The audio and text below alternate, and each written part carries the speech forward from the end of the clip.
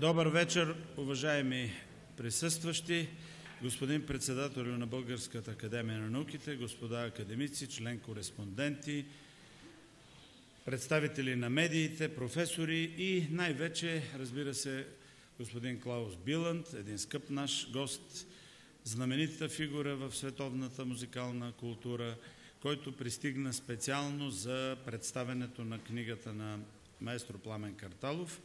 Книгата, разбира се, ви е добре известна. Ето е тази книга, която напомня почти Библия по тъжеста си и големината си, пък и по съдържанието си. Заради проклетия COVID отложихме премиерата на книгата. Тя трябваше да бъде миналата година, но ето сега вече сме спасени. След тържественото честване в тази зала на 24 май, първата голяма значима инициатива на Българска академия на науките е именно представенето на тази знаменита книга на маестро Пламен Карталов. Имам удоволствието да дам думата на председателя на Българската академия на науките, господин Ревалски, за поздравление встъпително. Уважаеми академик Карталов, драги приятели, драги гости, много се радвам, че имам възможност да ви приветствам с добре дошли големия салон на БАН за едно много приятно събитие, и което по някакъв начин след 24 май отбелязва и възвръщането към нормалното и да бъдем домакини на представяне на книгата на академик Пламен Карталов. мисля, че никой не би се очудил защо точно се казва Моят Вагнер, защото академик Карталов, всички знаем неговото преклонение пред творчеството на този велик композитор, пък и всички сме били свидетели на монументалните постановки, които той направи в последните години. Разбира се, и много други, които имаме удоволствие да гледаме и сега в последните седмици. И онова, което няма да говоря за книгата, защото съм сигурен, че ще бъде представена много по-подробно, отколкото аз бих я представил, но искам специално да подчертая огромната чест, която имаме ние, той да бъде член на Българска академия на науките, бъде наш академик. И поздравявам го с събитието, но също така искам да му благодаря за това, че винаги ни държи близо до голямото изкуство и все така да продължавате, академик Карталов.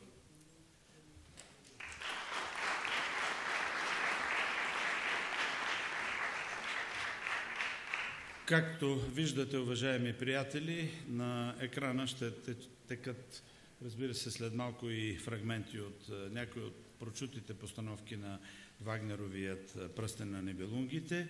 След малко ще имате удоволствие да чуете една представяне на книгата от самия Клаус Биланд. Преди това, моята роля, разбира се, така се каже, незначителна като един водещ на тази вечер, но ще си позволя да кажа две думи за и още една книга, която е пред вас. Онези от вас, които нямат Янейните девет братя, могат сега да я получат.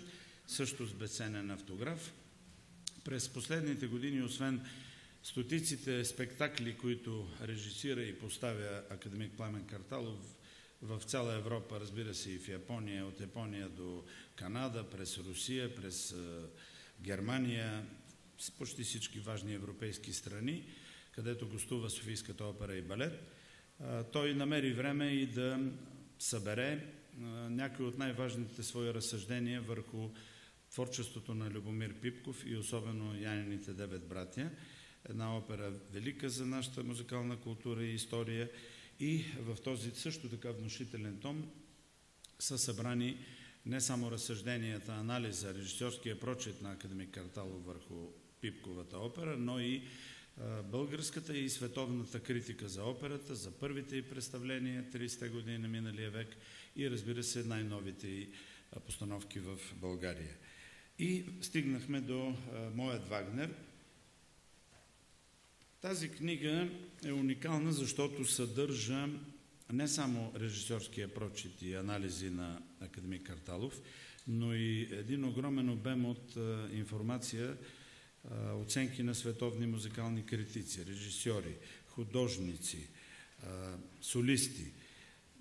Невъзможно е да се представи истински и задълбочено в едно такова кратко представяне като днешното. Само ще ви кажа, че В тези над хиляда страници всъщност се съдържа всичко, което може да се каже за постановките на Вагнеровите опери, не само за Пръстена на небелунгите, но и за Тристан Изол, Изолда и Парсифал. Но малко по-подробно сега ще чуете този анализ от Клаус Биланд. Разбира се, интелигентната публика знае кой е той, но той е оперен критик, редактор в най-авторитетното оперно списание в света, опера Лондон, списанията Орфей, Германия, Дерное, Меркер, Виена, Австрия, както и няколко оперни платформи в Европа. Дълги години е редовен автор на списанието Байройотския фестивал. Интересът му към творчеството на Вагнер обхваща представления, интервюта с артисти, анализи, статии, слова, симпозиуми и книги. Една от знаковите статии в книгата и анализи са именно на Клаус Биланд. И най-специален интерес проявява нашия уважаем гост към интеркултурните аспекти на рецепцията на Вагнер в международен контекст. Клаус Биланд е гледал всички нови постановки на фестивала в Байройт от 1969 година, половин век. Това е поразително. И е рецензирал оперни представления на повече от 120 театри в Европа, САЩ, Южна Америка, Азия, Австралия. Член е на седем дружества на почитатели на Рихард Вагнер, защитил е дисертация по економика в Гьотинген и над всичко е голям, голям приятел на академик Пламен Карталов, а това значи чрез него на Българска академия на науките и на любимото отечество. Господин Клаус Биланд. Richard Wagner kehrt zurück nach Füssen. Erleben Sie die weltberühmte Tetralogie um den Ring des Schnibelungen in einzigartigen Inszenierungen. Sehen Sie das Rheingold, die Walküre, Siegfried und Götterdämmerung als unkonventionelles Musiktheater mit eindrucksvollen Bildern und facettenreichem Multimedia-Design. Der Ring des Schnibelungen vom 12. bis 17. September im Festspielhaus Füssen. Alle weiteren Infos unter das-festspielhaus.de.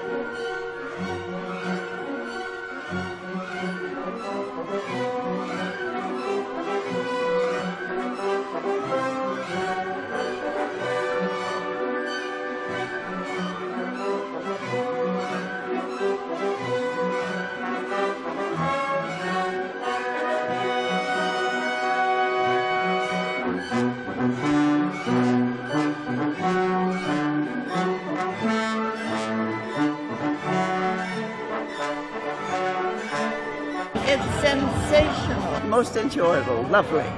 It was it was an exciting production.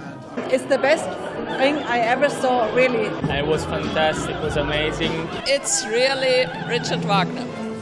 It was absolutely gorgeous. That's no doubt one of the most interesting and most beautiful rings all over the world. We're absolutely out of this world. Fantastic ideas of Mr. Kartalov. Absolutely superb.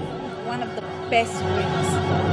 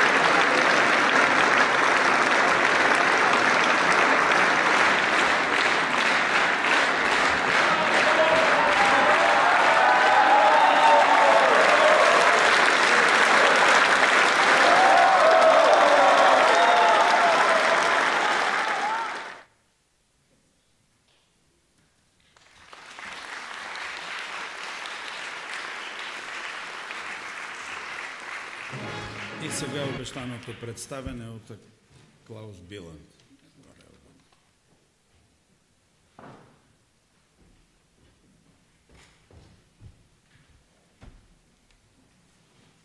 Good afternoon, ladies and gentlemen.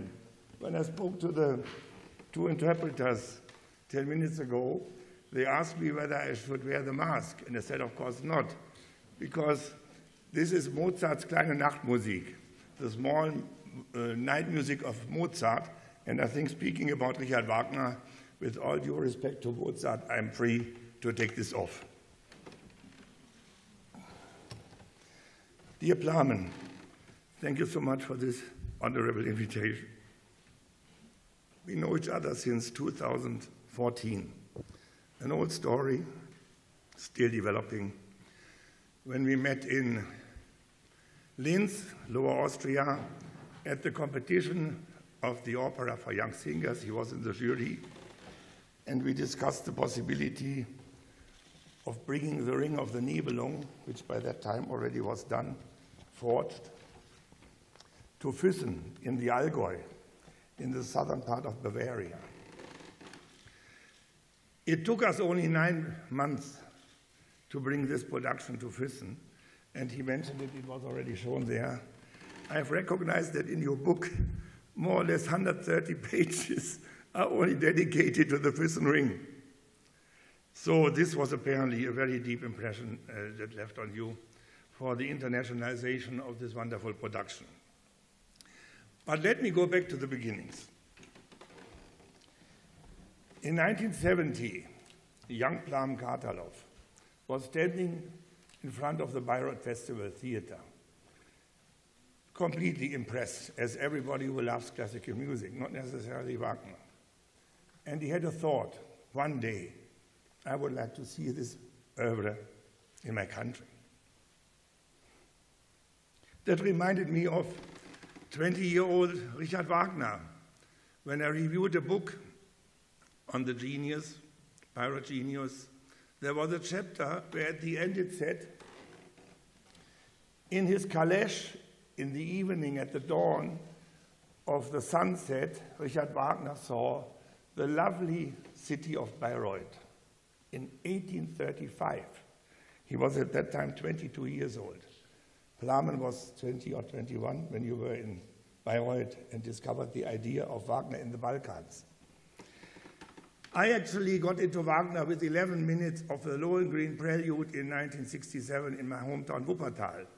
So you see, it is interesting. When it comes to this composer, there's always emotion involved. There are strong moments in the lifetime of somebody which make the change. And it made a change to your life, it made a change to my life until today.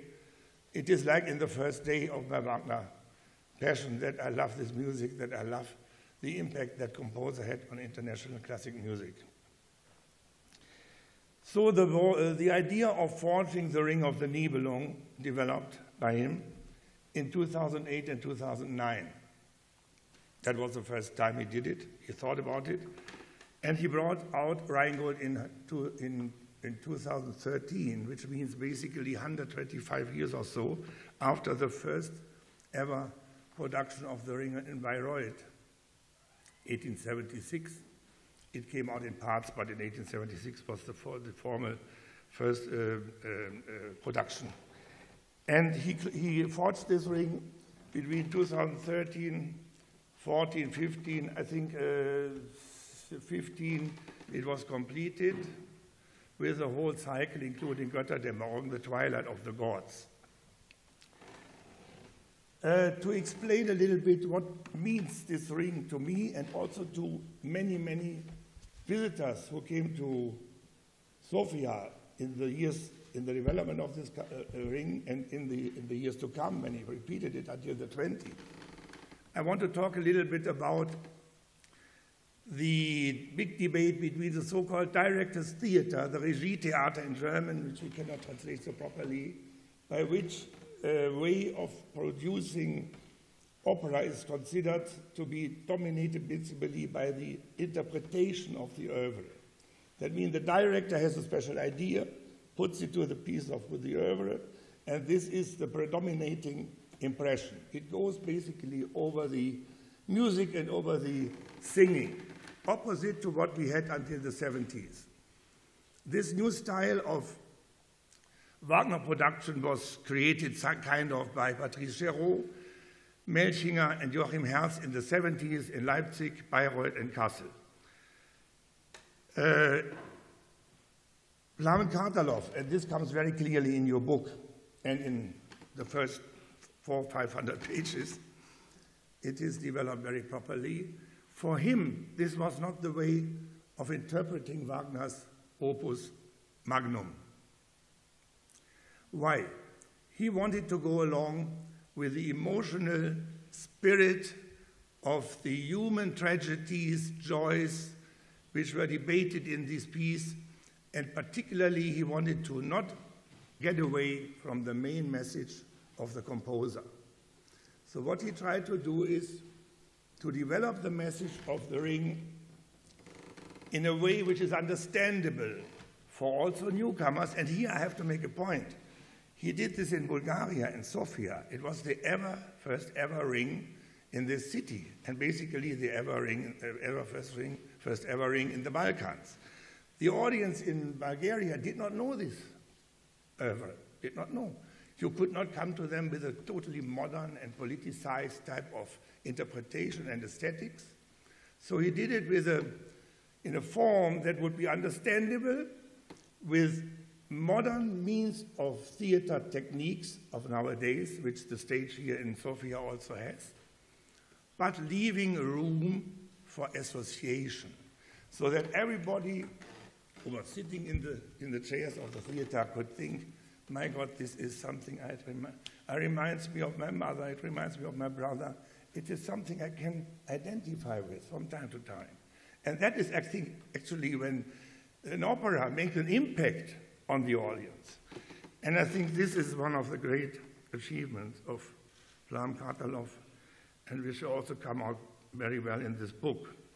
Conveying the message using unconventional means of theater techniques, leave room for association, and thus creating also tension. You know, the ring has 16 hours if quickly conducted. It goes up to, say, sometimes 18 hours. but in this ring, and I saw it two or three times, there was never a minute of boredom. Sometimes when there are long dialogues, like Wotan and Brunhilde in the second act of Valkyrie, you could eventually start to sleep, or in the death enunciation, pronunciation of Brunhilde in second act of Valkyrie 2. But what does he do then? He comes back with reminiscences of previous actions. You see Sieglinde coming forward, Siegmund, the fights, and you, you know, he comes back with ideas of the past. So there's always something moving, but never overloading the spectator. And what has to be said, also it comes also very well out in the book, he uses basically only Bulgarian means. The technology of the theater, which was very much developed by um, the name uh, Mr. Haydinyuk and also Vera Petrova, is a multimedia show, and I think it was very impressively seen how this ring element is permanently lit with different color, colors, which always go in line with the, re, the real moment of the scene. To, to, be, to get very close to the message of the, of the work, uh, Professor Kartalov developed a so-called storyboard, something I've never heard about it. I have seen over 112 ring productions in my life, but uh, this is something very, very neat. So he develops bar by bar with the music what is supposed to be seen then, and then interprets that into scenic, uh, scenic action, in which, of course, Nikolai Panayotov also helped by giving some symbols, some elements of the sets, and also for the costumes. It also was always entertaining. You know, sometimes the so called Wagnerians, I hate this term because it is kind of religious. I think one should say the lovers of the Wagner oeuvre Sometimes they want to have it very heavy and, you know, sometimes very impressive. There was always a kind of uh, entertainment here, very often, when it was possible to entertain. So this was also the advantage of this ring. It was also possible to connect the myth with the theater language. In the ring, there is myth, mythos. Whether we like it or not, Wagner had a very important message to convey, which was politically, socially, politically bearing in mind at the time in the 1850s, woman labor, child labor. He wanted the Nibelungs to be, to be shown as those exploited by industrial development and stuff like that. But there's also myth, and the myth is coming forward in the ring to an, to an enormous extent nevertheless never becoming too heavy loaded. But what counted is humanity is first, the emotions of the actors are first, and then comes the scene and comes the presentation. So, with this ring, uh, the, the opera of Sofia has really placed an interesting alternative to the nowadays modern Regie Theater, which has its place to play, but it's very difficult to do. If it is well done, it can also be very good and very convincing. But it is a style, particularly in the western part of Europe, which is more and more predominant, and we have here still a, a region, also in Italy, some southern uh, Mediterranean countries who do a, along these lines, which is, uh, I think, an alternative offered to the audience, to the international audience. You have seen Richard Trimborn in this movie. Richard Trimborn is an absolute mastermind and co-genius partner of uh, Plamen Kartalov. Trimborn was the one who taught the musicians, I mean the singers, in German and how to express in the German Wagnerian language. Because traditionally this opera house had its special qualities in Italian and French discipline, maybe Slavic discipline, but basically there was no German discipline played. It was the first time with Rheingold that it really started strongly. And Mr. Trimborn really developed this further and brought this ring to a pretty, pretty good, widely exceptional, pretty good, in some cases, uh, example of masterminding uh, the German language with a Bulgarian background, which is not at all, not at all easy. I don't even know one word of Bulgarian. Sorry. um, Mr. Trimborn, uh, I remember only a little story when we were in the summer house. Um, we saw Mr. Trimborn there, and he had this partition of Parsifal. It was 2016, I think, in his hands, and he opened it. It fell practically into pieces. So many jottings he had done, uh, notes, this and that. Instead, and he closed it. This is my last wish to do in my life, Parsifal.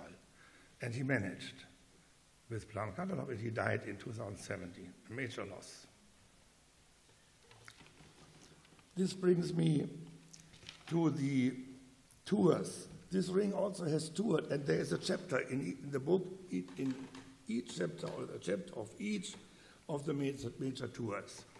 Siegfried went to Minsk in 2012 with uh, Manfred Meyerhofer as conductor.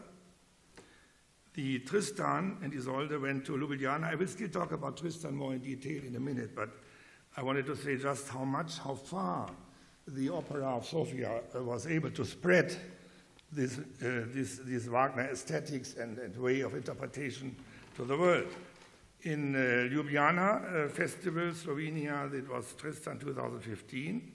I shortly mentioned Füssen, in the whole ring in 2015, in a preparation period of only nine months.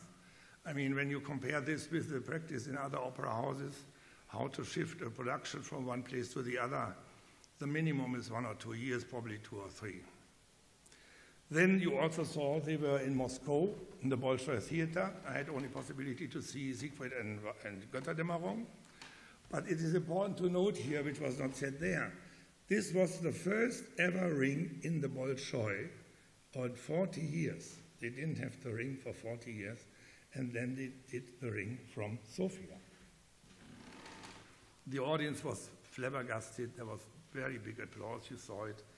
Uh, yeah. And then, uh, last but not least, we saw the Rheingold in 2020 at the Pancharevo Lake here, 15 kilometers away. I saw it from the plane when I landed yesterday. Uh, very interesting place. A huge pontoon, uh, which apparently was uh, rented out to the opera house, and with his with this enormous fantasy of outdoor operating, he discovered that could be a place for the Rheingold. And that Rheingold there, under, with Erich Wächter as conductor, was also a very interesting uh, experience, I must say. I was there. Unfortunately, the second version uh, fell into water by rain. But it was really something uh, special because he included again the whole lake into it. You see, you have the pontoon where the gods and the dwarfs and the Alberich play, but the, the Valhalla, the castle of the god. It is on the other side of the lake. And when you then, when it's night, all of a sudden, when Wotan goes to Valhalla at this enormous music at the end, these 12, da da da da da, da da da da, he goes by boat and you see the Valhalla shining on the other river, uh, lake shore. I mean, you have to have such an idea. This is also very nicely explained in the book, although I must I must admit I cannot read most of it because it is yet in Bulgarian. And I hope that will change. That will also be an English version. Yeah, uh, I like to come a little bit more to the Tristan and to the other two productions, which I think we have here only uh, slides, but I think it's good to have slides because then we have maybe some time in afterwards also to answer some questions if you want. And um, with the Tristan, which came out in uh, 2015, it was kind of a logical sequence after the Ring to do Tristan. Because as you may know, Wagner interrupted the Ring of the Nibelung after Siegfried's second act to do a Tristan and Isolde. He was extremely short of money, and he did a so-called, not a music drama, which de facto it is, but he called it Handlung in drei Aufzügen. He, he called it action in three movements. Very few singers, so he thought it would be very easy to bring this out, to bring quickly money, and he uh, tried to do it in Vienna, he was nearly bankrupt, that he lived in Hietzing quite well, still in the hope that his Tristan will go. But then, after 77 rehearsals, the general director of uh, the State Opera Vienna said, It is not possible to bring the Tristan, so please go home. And then Wagner fled in clothes of a woman to Stuttgart, where he was discovered by an, by an uh, envoyé of King Ludwig II from Bavaria, who from there on became his great sponsor and supporter. I think one should also say here that without King Ludwig II of Bavaria, the world would not have the ring complete, nor would it have Tristan, Isolde, and Parsifal. The, the aesthetics in Tristan, we have here the picture. First act. Again, a new idea, which he's also described in the book. You hardly can see this anywhere else even before the uh, first act begins, you can see the previous fight, which is only reported, uh, you know, in the, the, history, between the fiancé of Isolde and Tristan, Morold äh, and the Tristan, by which äh, Tristan kills Morold, and later on the head of Morold is sent back to Isolde because they were not paying their duties to the British, to, the, to England. But Isolde discovers in the sort of of Morold a split of the thought of Tristan. And she happens to see Tristan when he is nearly dying from this fight. And instead of killing him, taking revenge, she sees he, was, he was the one because she says a bit of the thought, and she, she rescued him. And this little fight is shown before even the action starts. I don't think we have a picture of that here, but what you can see here is the staging uh, the staging was done by Mr. Tobri uh, uh, not so sure on the, on the name. Um, and again, with a very interesting multimedia technique, lighting a Mr. Hajdinjak. You see Tristan and Isolde in the middle, just at the end of the second act. Uh, no, this is Isolde with Brangäne, with her maid. And here you see Tristan they are completely shocked to see the king because just a minute ago they took the potion of love, of eternal love. And the king comes in, it is his bride, but he doesn't know what happened. Oh, thank you. Do you have a glass of water? Uh, please shift on. Uh, Mr. Gorchakov is so kind to give us support with the, with the slides. This is Trist no, this, this is Isolde in the beginning of the second act. she is waiting for Tristan because they went out, you know, with a, with a uh, hunting gang, and she is there. And, uh, you know, what they put here on the stage is a kind of a watchtower. So she is being observed. She's also unreachable for Melot, for, for anybody else. So the king is kind of isolating her. And uh, this, I think, is very well done. Again, with relatively simple means, uh, paper of silver staniol in the front, but then this interesting uh, tower. Please. Next one. Yeah, and this, I think, is the culmination of the whole opera. And here you can also see uh, what is his idea. Um, Miodrag Tabački did the sets.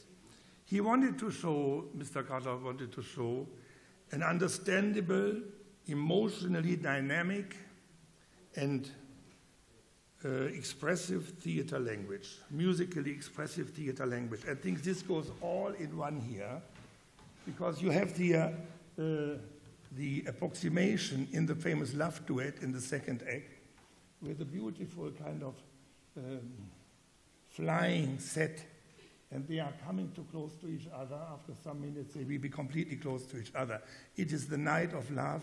It is blue, which is the color of the night. Again, it shows here how well um, the director is combining emotions and theatrical expression, as he did in The Ring, but this is a different story. Tristan Isolde is yet more complicated in this because there's less action. As I said, it's Handlung in drei Aufzügen. It's an action in three sets it's very little action, so you have to be very, um, you have to have a lot of fantasy to develop the tension all over the time. Next one. Uh, yeah, this is already the third act where Tristan is suffering from the fight with Melot. Melot actually gave him a mortal push with his sword under the eyes of the king.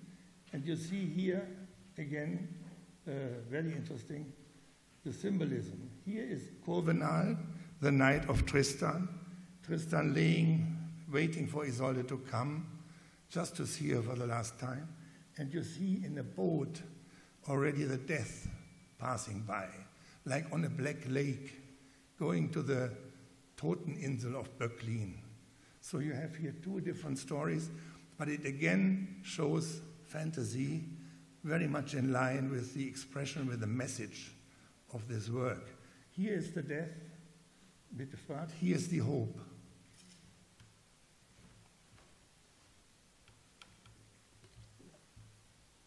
A last cry to Kurvenal to bring his woman back, who so shortly afterwards arrives. Please.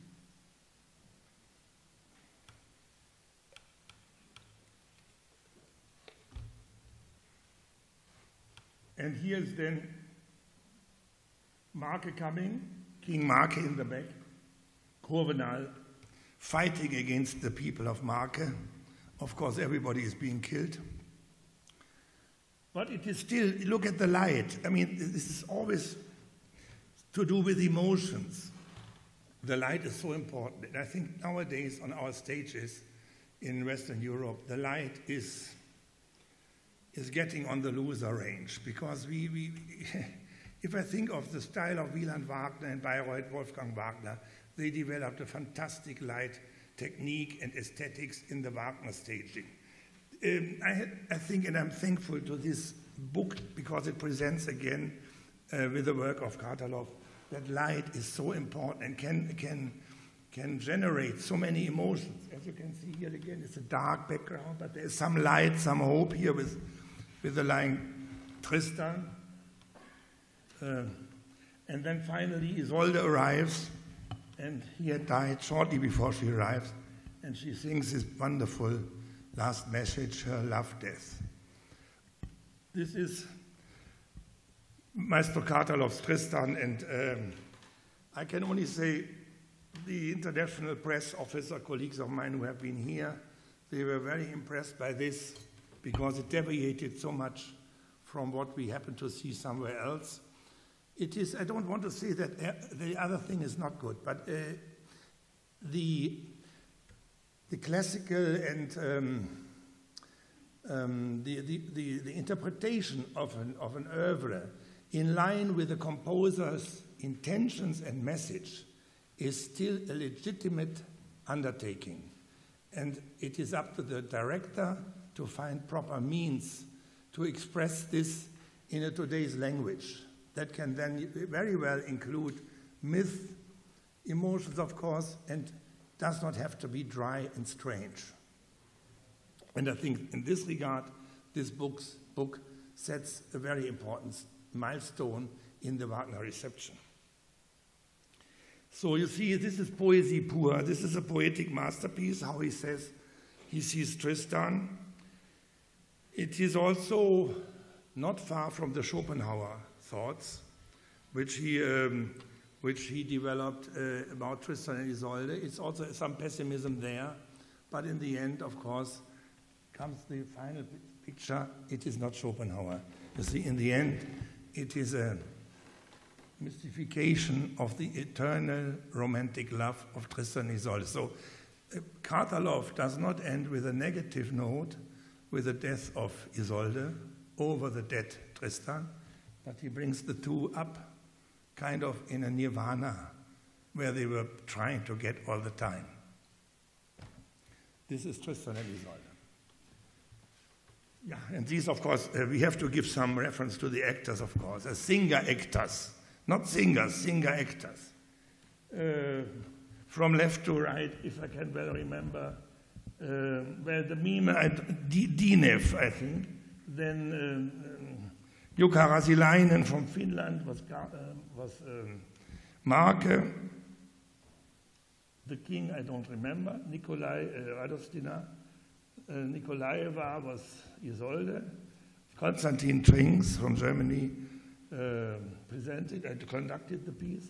Then Martin Iliev, really a very good tenor. I mean, all of them were very good. Also, Nik, uh, uh, um, Radostina, very good also as Siegfried Brunhilde, now recently as Chrysothemis, and the other two I cannot recall now.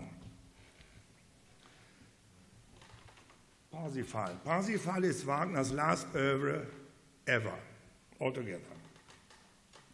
And again, the book shows here the, the deed of a pioneer because it is the first ever time in Bulgaria that Parsifal, Parsifal was presented in an own production.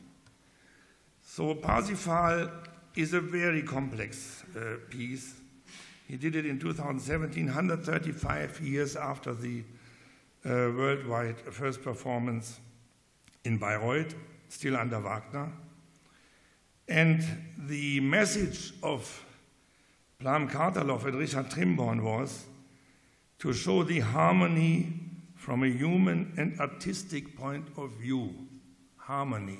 That is the term in Parsifal. And they have in mind the artistic and the human point of view. So they wanted to show the emotional content of this piece, in which fraternity, humanity, compulsiveness are connecting with a divine radiation and spiritual heading.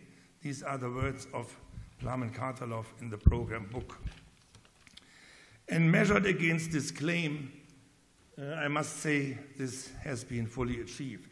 You see here the holy forest in the first act with, uh, uh, with uh, how can I say, uh, stuff, um, um, I don't know, it's not to say.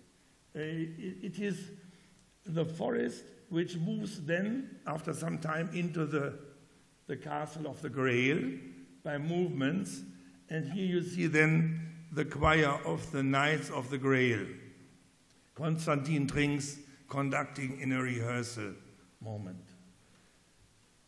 This is the heavily suffering uh, king of the Grail, Amfortas, who had the task to continue opening the Grail every now and then to keep the knights alive.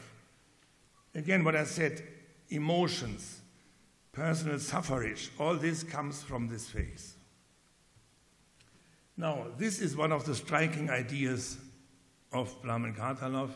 I think probably the best in the whole Parsifal because it is so simple and so great. You see, the, the, the grail is a calice.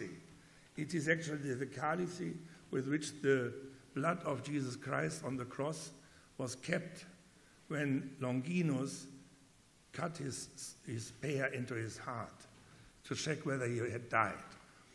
This is the story of the Grail, a never ending story, Spain. I mean, there are myriads of stories about it.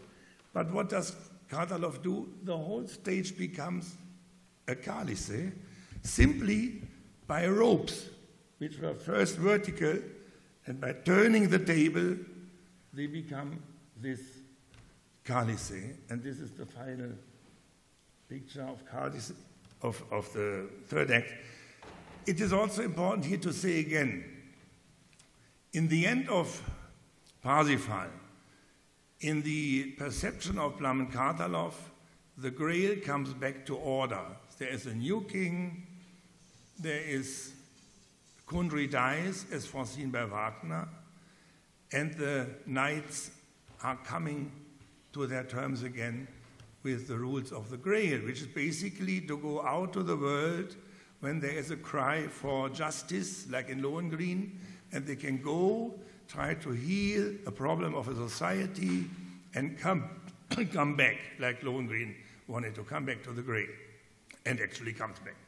This is the Calice from the bottom. Uh, it shows the simplicity of the means, but the idea behind. This is uh, what fascinated me most. Yeah, uh, I should still, still say some words about the, the maestros who worked here for a long time in this Wagner phase of Plamen from 2010 to 2020. 20. Basically, Erich Wächter was the one who developed on the, on the, in the pit musically this ring. Very often he was here. He was also Lake Pancharevo and he was, uh, and then came uh, Konstantin Trinks for Parsifal. I also heard Viktor Genshev doing Parsifal in one evening. That is um, the singers I mentioned. What is important to say, with all this work, it was possible to develop a very impressive stock of Bulgarian opera singers who can sing Wagner. And I have heard some of them already in Western Europe on other stages. I think it was in Leipzig when Martin Iliev, a great tenor here of the house, sang Siegfried in the Siegfried opera. Yeah, uh, this is basically the course over the whole work.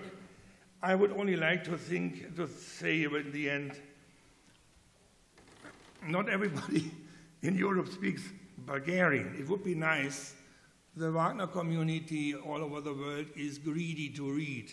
There are every year a couple of books coming up. I think after Napoleon, Wagner is the one who was most written about. There seems to be never an end.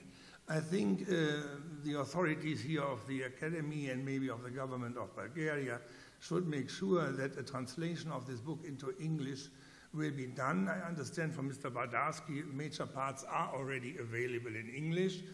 You can also do a lot with Google Translator. I think it is not a major job, but I think it should be definitely done. And then I would suggest, uh, yeah, I wanted to mention also what has come afterwards. Already, Richard Strauss is being played here on the stage.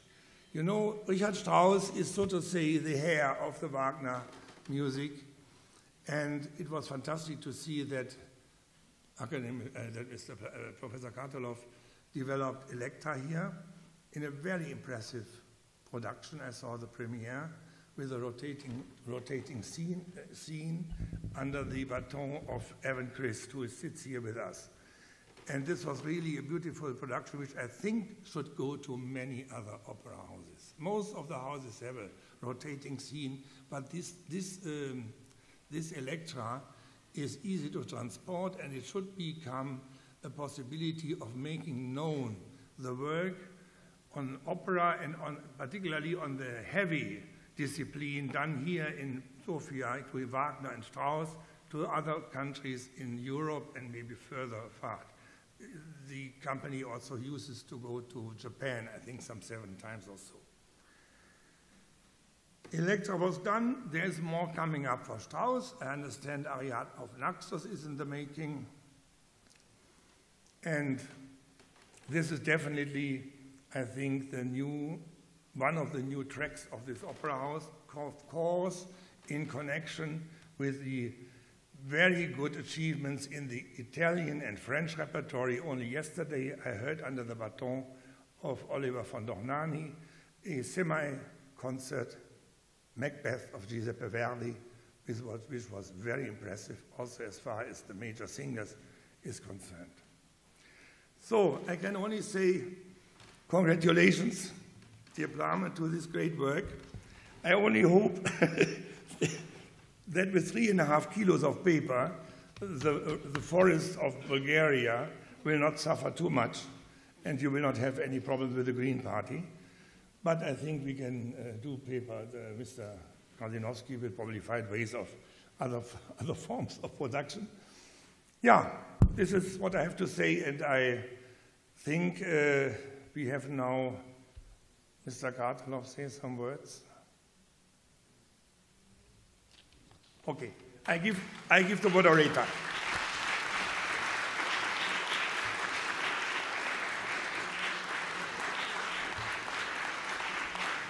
Thank you. Thank you very much.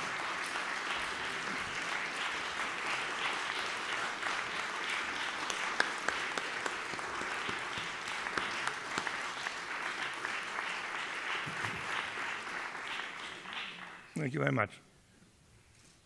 Thank you very much, dear Klaus. Какво да кажа? 10 години Софийската опера посвети в своята 130 годишнина едно наистина отдаване на композитора Рихард Вагнер. Това стана благодарение на солистите на Софийската опера. Те бяха избрани между всичките певци от цяла България и българите, които работят в чужбина, 50 души. С 50 души ние работихме, за да може да имаме в някои роли и дубльори, но не за всички. Поклон, скъпи колеги, вие сте тук в залата. Благодарение на вас стана това нещо.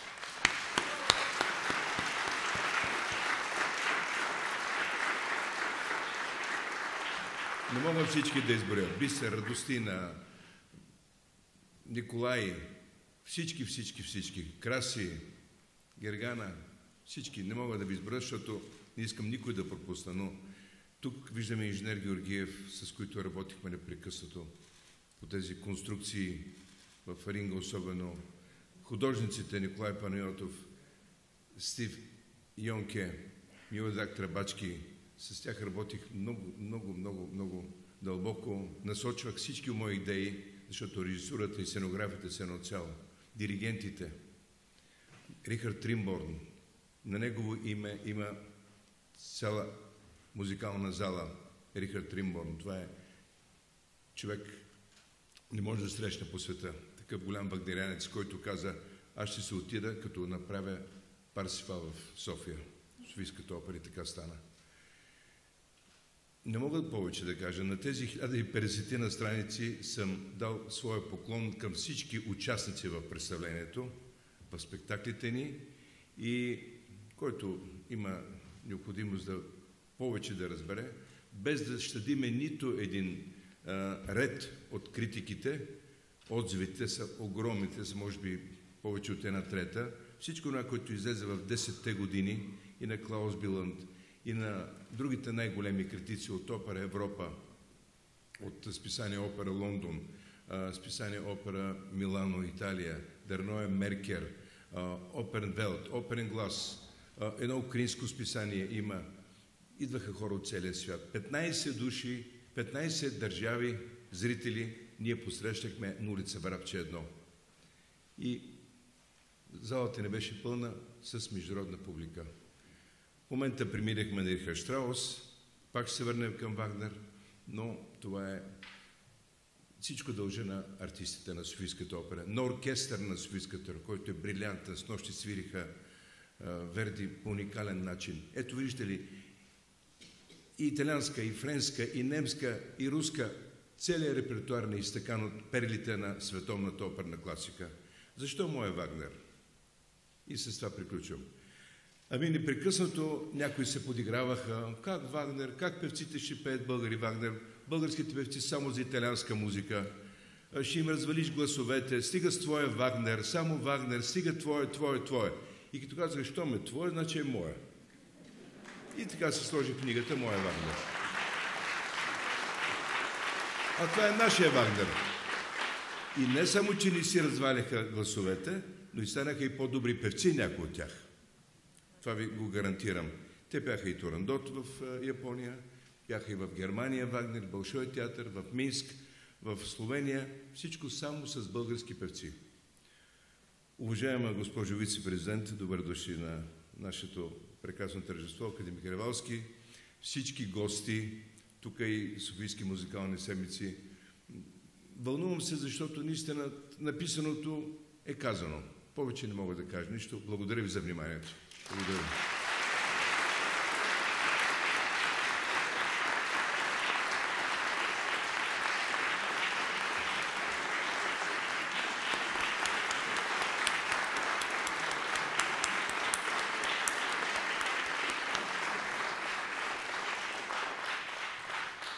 Ще го извикаме на бис, маестро Карталов. Уважаема госпожо вице-президент, уважаеми господин председател на Българската академия на науките, както разбрахте, накрая ще има една изненада, награди от името на Софийски музикални седмици, но още две думи да кажем само. Онези от вас, които не са гледали постановките на Вагнер, правени от маестро Карталов, ги съветвам да ги видят. А от тук нататък, ако се потопите в страниците на тази вълшебна книга, ще видите защо най-точна за Карталов, за неговата духовна аура и консистенция на духа и на страстите са думите или прочутата метафора на Шопенхауер, говори Клаус Билан за Шопенхауер, бурята на страстите и патосът на чувствата. Карталов владее тази буря на страстите в Вагнеровата музикална драматургия, която е много сложна, знаят специалистите. Той е и философ, не е само гениален композитор и драматург. И той добре интерпретира, може би най-добре в България или на Балканския полуостров, а и според мен в Европа добре интерпретира тази музикална Вагнерова драматургия в своите постановки. И това е показано в безбройните оценки, които той поради своята пословична скромност не спомена. Но в книгата има около 300 страници аплаузи и възхитителни оценки за Софийската опера и балет, за маестро Карталов, за неговите постановки, които а, правят чест на всяка голяма европейска сила за България. Това е изключителна чест. Разбира се и за Българска академия на науките. Така че идвайте по-често в тази зала. Преди да дам думата за тази приятна изненада за наградите на Софийски музикални седмици, да ви поканя който желая. В петък на 4 в 18 часа в тази зала ще се представи третата книга от една специална поредица от аналитично-мемуарни и други книги на Георги Орданов, най-добрият министр на българската култура през последния половин век. На първия ред скромен.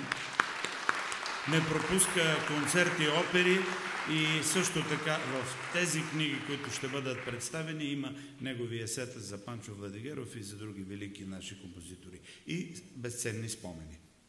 Заповядай за изненадата. Добър ден, дами и господа, уважаеми гости, уважаеми госпожо вице-президент, председателя на БАН, Иван Границки и майстор Карталов.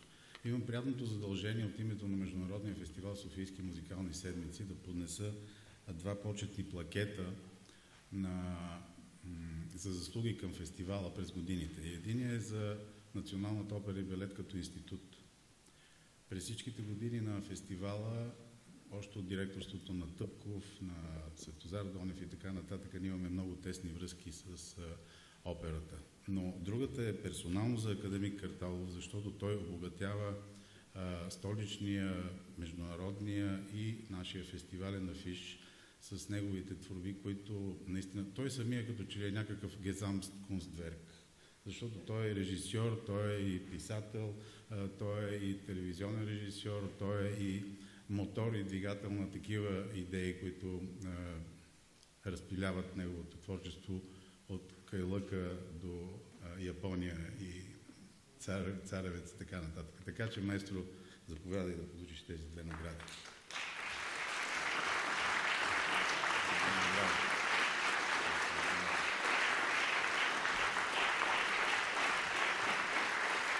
За мен е чест тази награда, която дава Софийски музикални седмици, да се случи точно в този научен и духовен храм на българската наука, а вече и на култура, защото наистина благодаря за гостоприемството Академик Ревалски, че точно Българската академия на науките даде домакинство на, на това събитие. Благодаря на Софийската музикална седмица и на тебе. Благодаря.